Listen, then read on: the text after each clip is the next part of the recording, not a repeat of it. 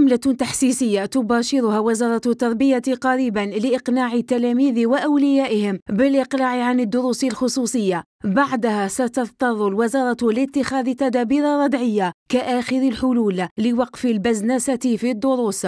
هو أهم ما جاء في تقرير اللجنة الوزارية لمحاربة الدروس الخصوصية الذي تسلمته الوزيرة بنغبريط اللجنة الوزارية التي تضم إلى جانب ممثلي الوزارة ممثلين عن الشركاء الاجتماعيين. وبعد نقاش مستفيض امتد على مدار ثلاثة أيام أكدت على عكس ما هو شائع الدروس الخصوصية لا توفر النجاح للتلاميذ وهذا ما أكدته دراسات ميدانية في الداخل والخارج. الدروس الخصوصية مكلفة جدا للأسرة وسعر تلقين الدروس للتلميذ الواحد يتجاوز عشرة آلاف دينار شهريا. الدروس الخصوصية تتم في أماكن غير آمنة ما يعرض التلاميذ إلى الكثير من المخاطر.